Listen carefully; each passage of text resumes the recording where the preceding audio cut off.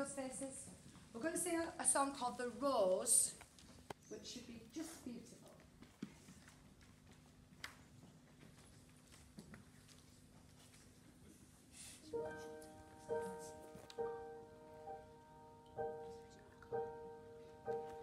Some say love,